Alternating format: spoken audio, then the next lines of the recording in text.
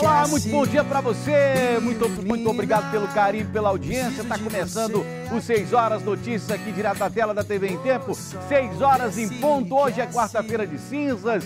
Chegou a quarta-feira de cinzas, dia 26 de fevereiro. E aqui não tem descanso, meu amigo. É notícia a todo momento, uma atrás da outra. Vamos juntos, vamos estar juntos até as 7 da manhã com muita informação, prestação de serviço, informações de trânsito, tudo que aconteceu nas últimas 24 horas. Se acompanha aqui comigo, Márcio Paz Barreto, e te convido desde já a participar do programa através das nossas mídias digitais. Você já sabe que no Facebook nós estamos transmitindo o programa ao vivo para todo o Brasil, para todo mundo. É só você entrar lá na no, no nossa página TV em Tempo e aí você compartilhar o link com quem você quiser. O pessoal que está fora aí de Manaus, fora do estado do Amazonas, pode compartilhar porque o programa é ao vivo.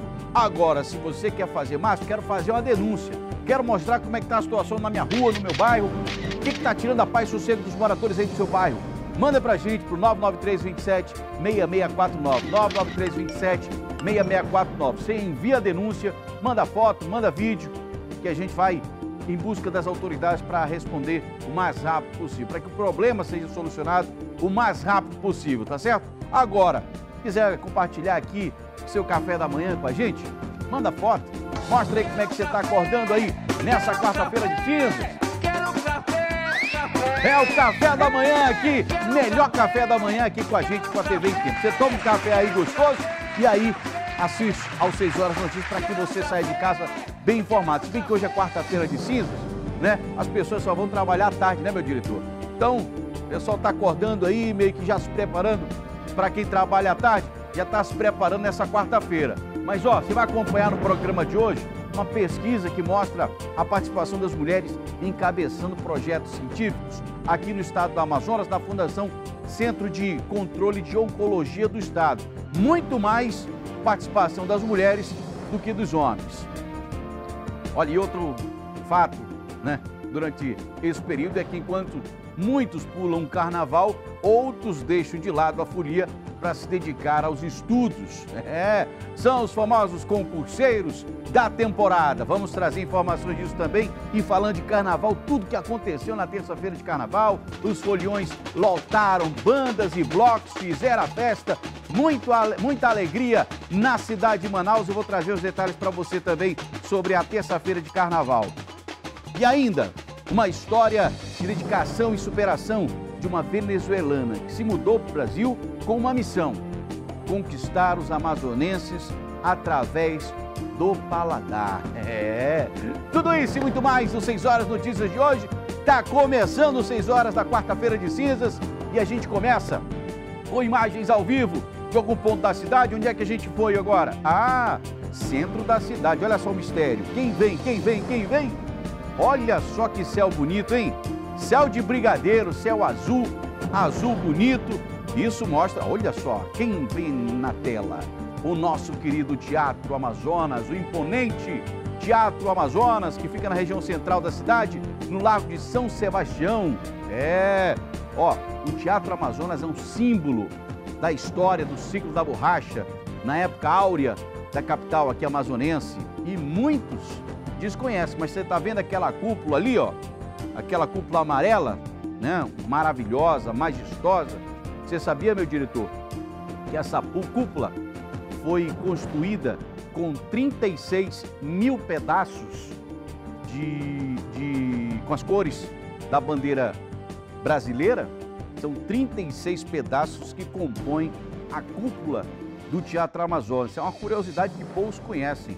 Né? E o material que foi usado no Teatro Amazonas é material importado da Europa. É, filho. O negócio é sério, é por isso que ele é imponente, por isso que ele é um símbolo histórico do, da, do, da época da borracha aqui no estado do Amazonas. E é, meu amigo, e, ó, maravilha, ó, que coisa bonita, hein? Que coisa bonita da nossa cultura amazonense. Falando em temperatura, falando em céu, olha só o céu bonito. É, temperatura de momento é de 23 graus. Previsão para essa quarta-feira de cinzas é muito parecida com a de ontem, segundo o Instituto Nacional de Meteorologia, hein? Sol durante a manhã, mas tem também a aparição de nuvens. Até agora não, né? O segundo o IMET vai ter nuvens aí ao longo da manhã. Acho que lá no fundozinho a gente consegue ver algumas nuvens, né, meu diretor? É porque eu tô sem óculos.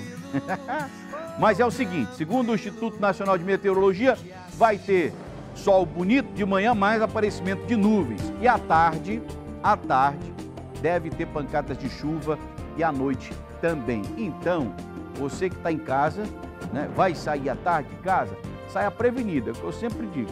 Né? É melhor prevenir do que remediar. Então saia com uma capinha, com um guarda-chuva, pequenininho ali na bolsa, é, mínima de temperatura de 23 graus e a máxima para essa quarta-feira é de 31 graus. Vamos embora? Vamos seguindo porque aqui a informação não para, ela segue. A, o carnaval de rua tem crescido muito em todo o Brasil.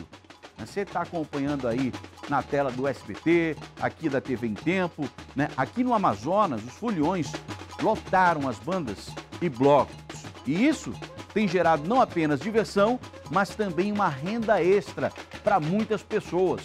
O nosso querido Tarcísio Aime traz os detalhes para abrir os 6 horas desta quarta-feira aqui na tela. SBT Amazonas Folia. TV em Tempo. Carnaval de Rua. Oferecimento Tropical Multiloja. Tudo para você brilhar na folia. Nissan Tropical. Quem testa, compra Nissan. Prefeitura de Manaus. E Governo do Estado do Amazonas. Quem tem consciência, tira 10 nesse carnaval. Quando o assunto é carnaval, a dona Ednelza conhece bem. São décadas de folia. Ela conta que viu toda a transição do carnaval de rua de Manaus e lembra com alegria dos bailes e festas que os clubes manauenses promoviam antigamente. Hoje muita coisa mudou. Com as bandas e blocos, as ruas ficam tomadas pelo público que espera o ano todo pela festa.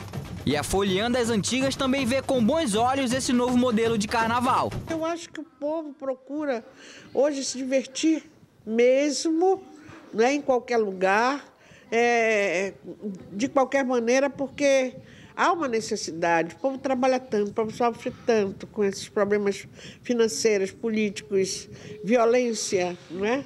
Então é, é, é uma busca perfeita, né?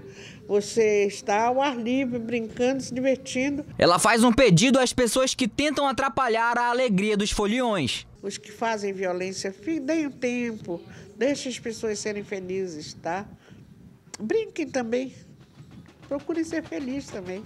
O Carnaval de Rua de Manaus é um dos maiores do país. Com tanta grandeza, o período é um ótimo estimulador de renda para a cidade. É muito positivo porque, primeiro, é, nos consolida como um grande destino turístico. Também faz com que toda essa economia produtiva aí, é, seja músicos, bailarinos, percussionistas, é, trabalhadores das, das, das, próprias bandas, seguranças, bombeiros, é, todos esses possam, a partir do carnaval, receber recursos e fazer movimentar a economia. Esse é o carnaval que todo mundo deseja, com ruas lotadas de gente feliz e com dinheiro no bolso.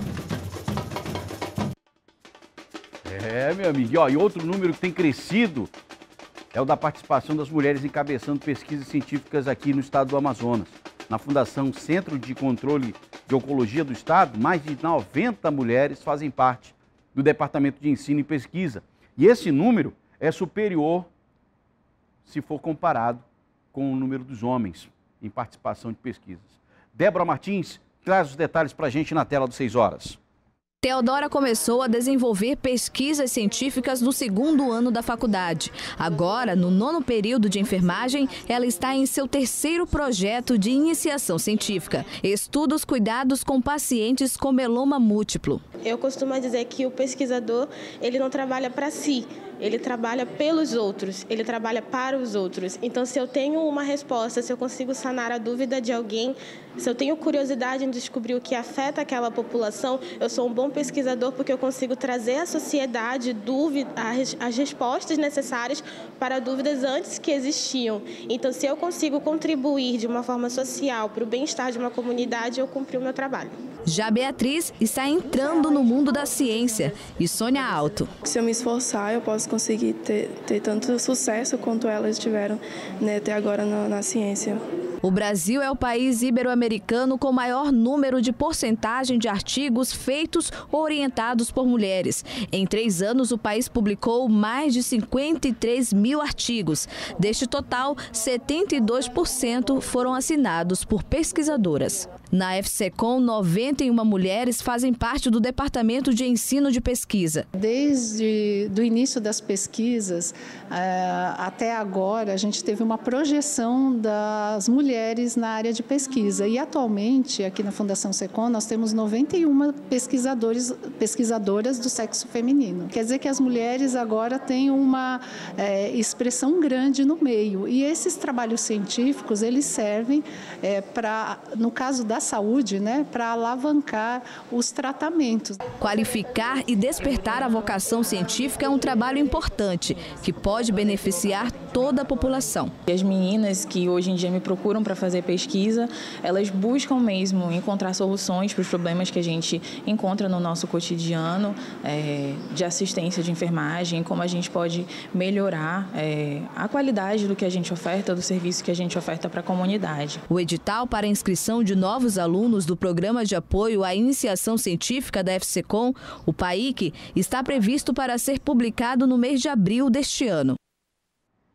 E a Defensoria Pública do Amazonas está com o edital aberto até o meio-dia, aliás, até o dia 3 de março, para credenciamento de laboratórios para realização de exames de DNA. Débora Martins é quem fez a reportagem com a narração de Patrícia de Paula. Em 2018, Edicléa procurou a Defensoria Pública do Estado para solicitar uma autorização para verificação de paternidade da filha. Na época, ela pagou quase 300 reais pelo exame. Na época, eu pude é, pagar, né, porque eu trabalhava. Mas se fosse agora, eu não teria condições, porque ambos têm que dar metade, metade. Metade dele e metade minha. Para ajudar os assistidos, a Defensoria Pública lançou neste mês um edital para credenciamento de laboratórios que ofereçam descontos em exames de DNA. A ideia é oferecer o serviço antes que o caso vire um processo judicial. Possibilidade de fazer um acordo, mas há uma dúvida real sobre a paternidade. Então, ele já sai daqui com um ofício direto para um desses laboratórios credenciados com descontos. E com isso ele tem uma resposta mais rápida, mais efetiva, né? E não fica esperando pela finalização de uma demanda de um processo. Ano passado, mais de 13.700 atendimentos envolvendo confirmação de paternidade foram realizados pelo órgão. Este ano, o número já chegou a 1.245 atendimentos do tipo. Expectativa muito grande de que seja um número grande de pessoas que irão com esse documento junto aos laboratórios que se credenciarem para fazer esse exame de DNA. Os laboratórios interessados devem enviar documentação para o seguinte e-mail: licitação@defensoria.am.gov.br ou ir diretamente à Defensoria no Aleixo até o dia 3 de março. Os laboratórios podem ser localizados em Manaus ou em qualquer cidade do interior do estado. O edital com a lista de documentos está disponível no site da Defensoria Pública. 6 horas e 13 minutos. Hoje é quarta-feira de cinzas e na Igreja Católica o dia de hoje marca o início da quaresma. Período de quarentena, de 40 dias, né? Em que os católicos e algumas outras comunidades cristãs se dedicam ao jejum e à preparação para o período da Páscoa. Sobre esse assunto, a gente vai conversar com Bárbara Mitoso, que está na catedral, lá, olha, catedral, Igreja de São Sebastião, né? E vai trazer os detalhes desse início de quaresma. Olá, Bárbara, muito bom dia para você.